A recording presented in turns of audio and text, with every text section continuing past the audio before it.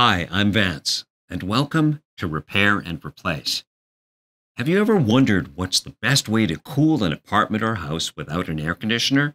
You could just open a window and run a fan, but a more effective way is to create a cross breeze.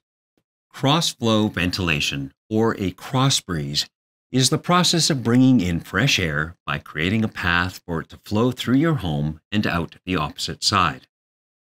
To cool a home, it's best to pull air in from the north or shaded side of your home and exhaust the air out of the south. As well, note the direction of any prevailing wind, as that can help push air through the home. You can also take advantage of the stack effect, where warm air naturally rises to the top of your home. Simply pull in air from the basement or main floor and push it out of the top floor to encourage a natural upward airflow. The amount of cooling is dependent on the outdoor temperature and the layout of your home, so you may need several fans for this to work. A window fan, box fan, and pedestal fan can all be used in combination to help move air throughout a space. A window fan drawing cool air into a bedroom can help you sleep comfortably.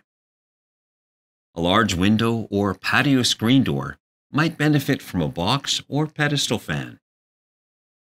You might also need some extra fans to help move the air through hallways and around corners. Now, even if you have a portable air conditioner, a cross breeze can be a good way to save money. For instance, run the air conditioner for a few hours during the hottest part of the day and then open the windows and use fans during the evening. Hopefully, this gives you a good sense of how to better cool your home during these hot summer days. If you like this and want to see more tutorials and informational videos, then subscribe to our channel.